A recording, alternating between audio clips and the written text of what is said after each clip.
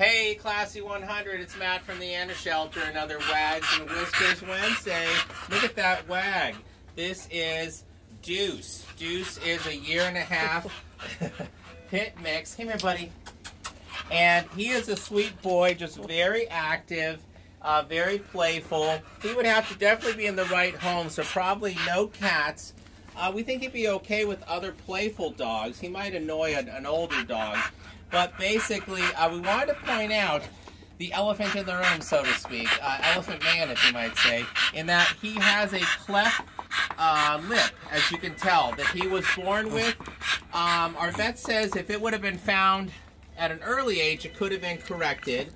But he came in as a stray, and so basically, um, you know, his lip was already deformed, but it does not bother him or cause him to be any less of a dog, just to have a unique look. So Deuce, the cleft lip dog here, he seems to know his name already, even though we gave him the name. He's only been with us a little while. So, um, you know, this is the dog, like I said, uh, probably do best at home with older children, no cats, maybe another playful dog, maybe your only dog. I don't know. They're definitely going to keep you busy and entertained. So you can come in as a walk-in.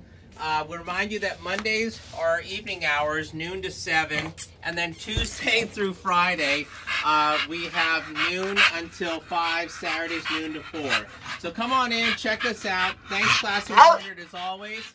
Um, also, check out our, if you're not already made your plans, for Dogtoberfest at Erie Brewing. Go to Erie Brewing's website for ticket information and come out and support the shelter this Saturday evening if you can. Thanks, Classy 100. Have a good day.